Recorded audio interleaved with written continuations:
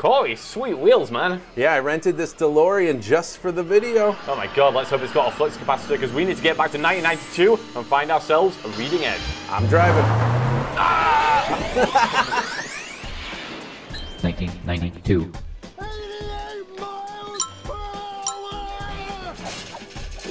Hello and welcome back to another Vision Forward Tech Connect video. And boy, are you in for a treat today. We've decided to take a dive back into the past and look at the Kurzweil Reading Edge and how it compares to some more modern devices, namely the Smart Reader and the Orcam MyEye.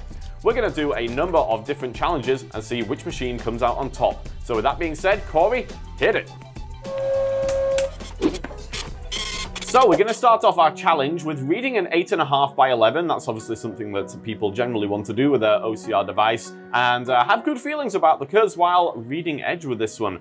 Cory, are you ready for your first challenge? I am I am about to go back into 1992. Yeah. And let's rock this thing. Eh? All right, so I'm going to hand you here an 8.5 by 11. right. And let's see how the Reading Edge does with this. so I'm gonna lift the top here because this is a kind of a scanning device. It's a bright light I can already see coming out of it. It's green as well, which is it is great, yeah, it is kind of crazy. All right, there we go. All right, I'm gonna hit the scan button on the remote. All right. Wrong button. there we go. Now, for the sake of time, I can tell us right tell you right away, it's going to take a good three minutes or so for it to process. Yep. So to save time, let's do a quick fast forward and resume back here in just a moment. Let's jump forward in time. All right, let's try it. Oh, not ready yet. All right, let's see again if it's ready to read. P O S S I B I L I T I E S period. That spells Dash possibilities. Vision Forward Technology and Education Center features innovative technology in real life work, Scopy and home environment. See first. Oh, Scopy. Scopy, those are my So that was lovely DECtalk reading back to us. If that's a throwback to the 90s, uh, you don't hear that voice any longer. But it did scan it in. It took a while, uh, and it is reading. Um, pretty accurate. It's a decent job. Yeah. Actually, I had a, a teacher back in the 90s who sounded just like that. Really? Yeah, yeah. Mr. Deck Talk? yeah. His name was Declan Talk. Oh, interesting. Uh, it seemed to do a pretty good job there, which is surprising because that's the first time it's done a, a good job uh, today, you know. well, we cleaned it. We did. that I, I do helped. believe it's been in someone's closet for many, many years. But All right, what score would we like to give it the uh, the Kurzweil there? I'm gonna have to give it probably a five out of ten. If, once you, if you if you take in account Yeah. Speed and accuracy, Yeah.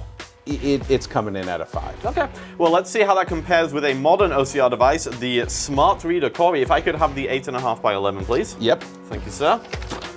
And uh, now we're going to see how the Smart Reader um, works for with the same page. task. All right, you be quiet, please. How the Smart Reader works for the uh, same task. And uh, so, number one, hopefully it'll be a little bit faster than the Kurzweil was. Let's see uh, how we do here. I'm going to hit the button. There's the picture. Now, see how long this takes. Oh, turning left.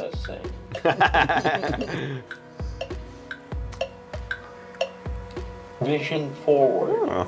a Saucidian Oh, Technology and Education Center, connecting people with vision loss to possibilities. yeah.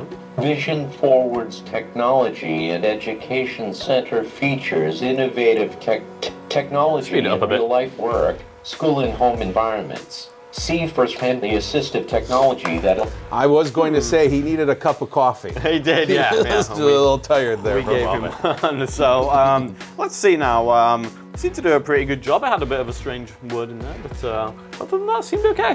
I mean, obviously, being camera based instead of a scanner based, the Mm-hmm. the the scan time, processing time was almost instant. So Much there, faster. there's no fast forwarding on that one. Yes. Uh, and it, and I do think I think it was more accurate as Yeah. well. How did you like the sound of the voice on there, Cory? I, I like that voice. Okay, so score for the smart reader then.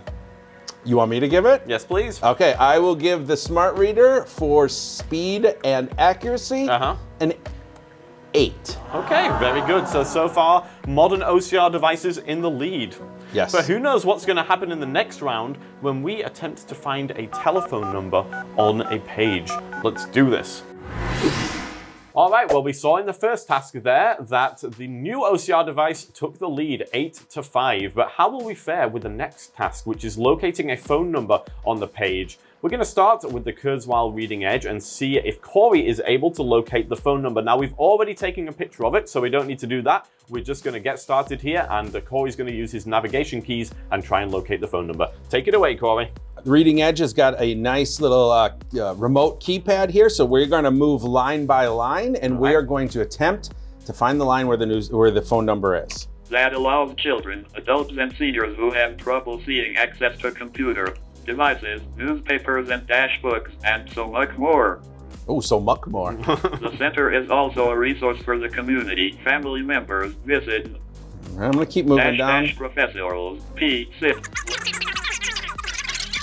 414-65-0127 or IHOE. Well, I got the number there. It was Yeah. 414 615 0127.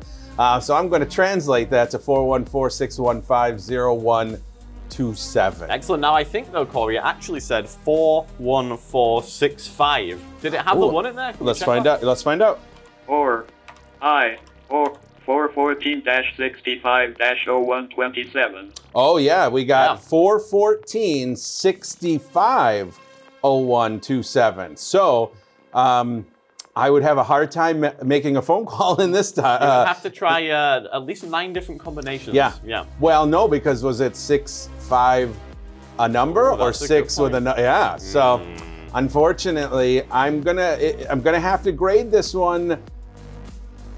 Well, let's see. There's uh, what a total of ten numbers. And I got nine out of 10 numbers, but I can't give it a nine out of 10. We're gonna have to give it a three out of 10 because there's no way to give it a call. I can't make the phone call. Brutal. Well, we got a 3 out of 10 there with the Kurzweil Reading Edge, so let's find out now how the Orcam compares for the same task. I'm going to go ahead and grab my Orcam here and wake it up.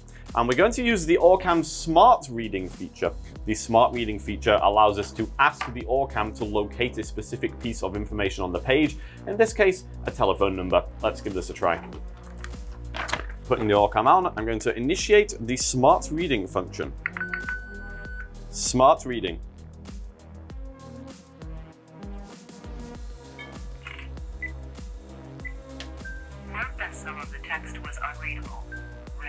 Find phone numbers. Found one phone number. Program assistant. Four one four six one five zero one two seven. Orientedvisionforward.org.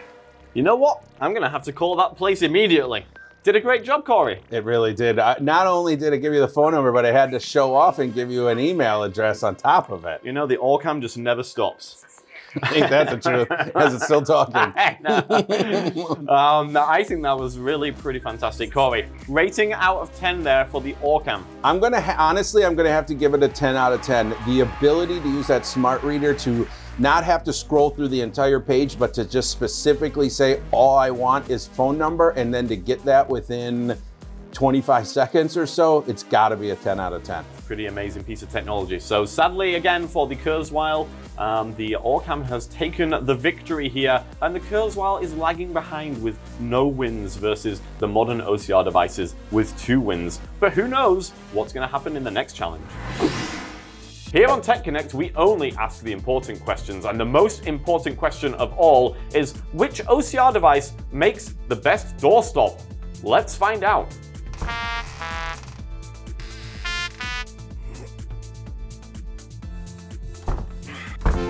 Gonna have to give Reading Edge 10 out of 10 for this one. barely even a contest.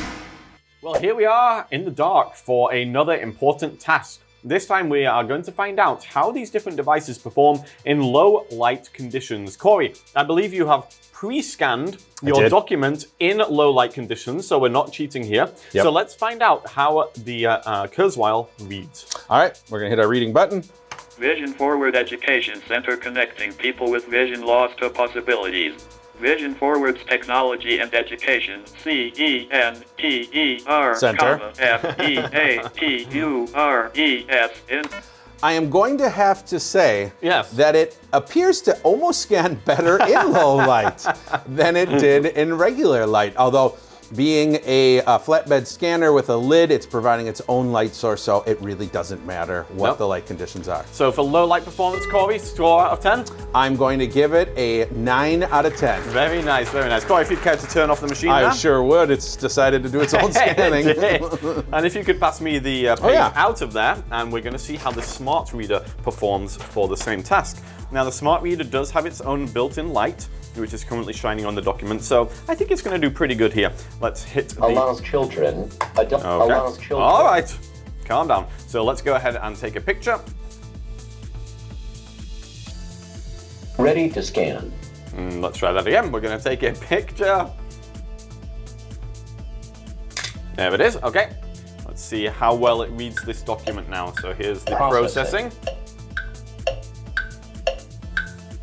Technology P&D. Vision Forward. Location. Education Center. Connecting people with vision loss to possibly percent eyes. Hmm. Vision Forward's Technology and Education Center feature. So in this very scientific test, Yes. I would say that the smart reader actually performed worse than the Kurzweil. I'm going to have to agree on you, hmm. with you on that one. I'm going to mm-hmm. give it a 8. Ooh. Okay, so so far Kurzweil is ahead here, but we have one device left to test. So This is the Orcam. How is the Orcam going to perform in low light conditions? There's only one way to find out, of course. Put on the glasses. Let's take the document. We're going to point at it. Oh, so the lights came on. It did detect it needed to turn its lights on. Technology and Education Center oh, features listen to that.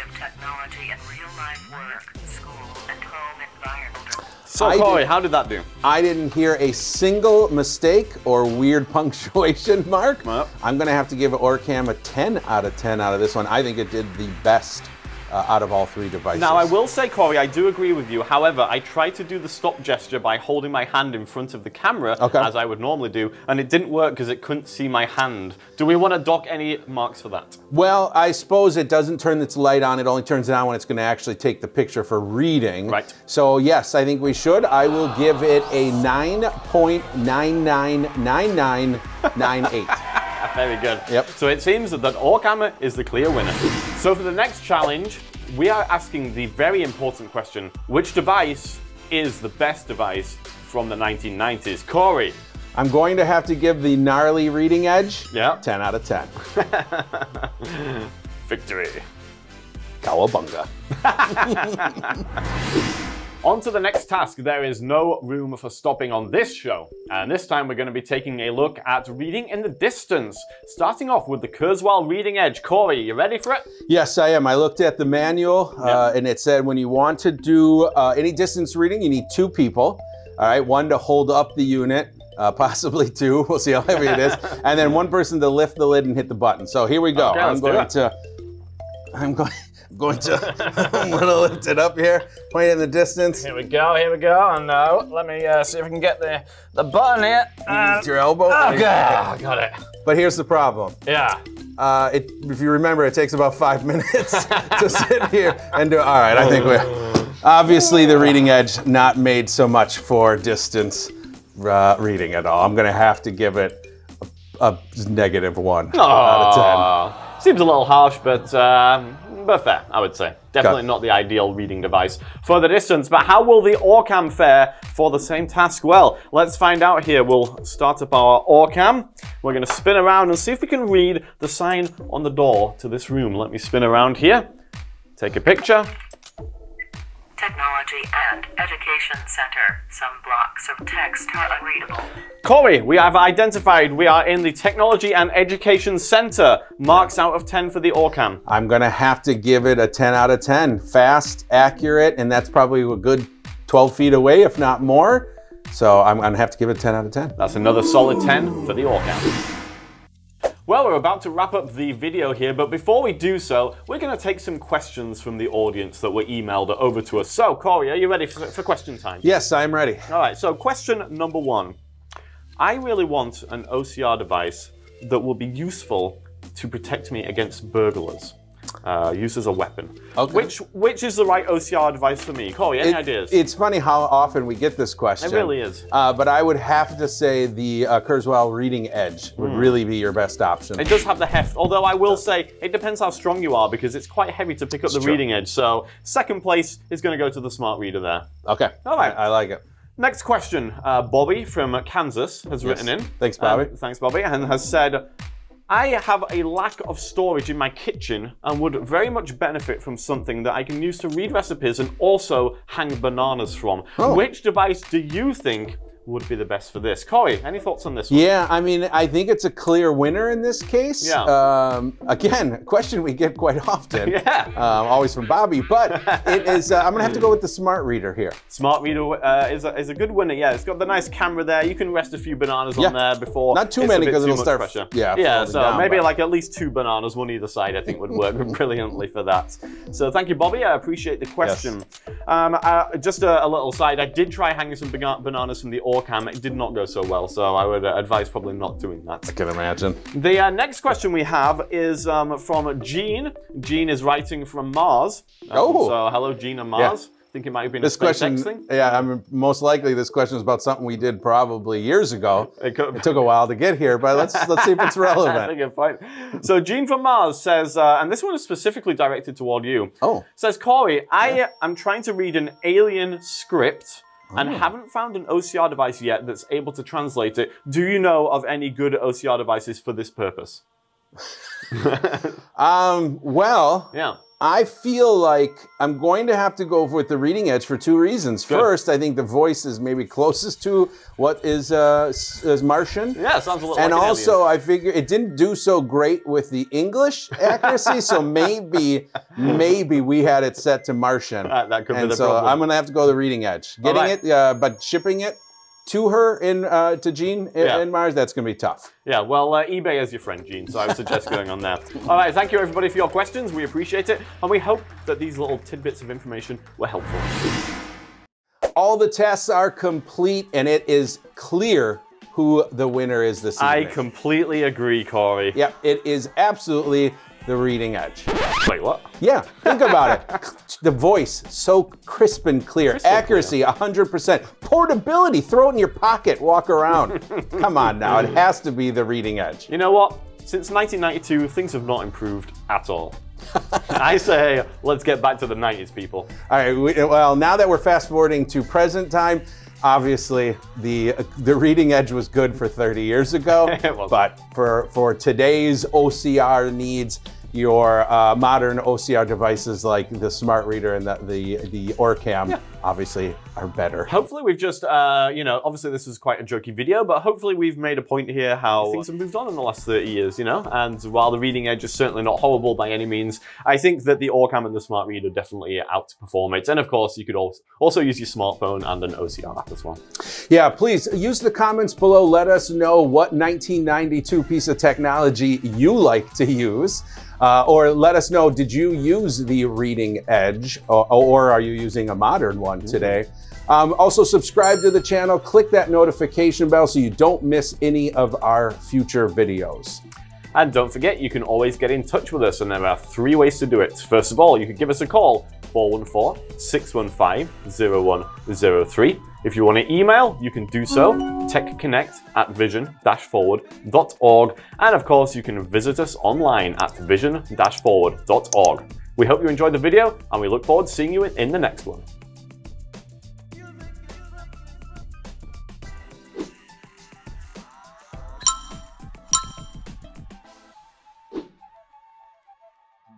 Cory, we've got to get this thing back to the past. We've disrupted the timeline. Doc Brown was right. What's that? That's the sound of him fading away. Is that Hulk should have my cane and be like.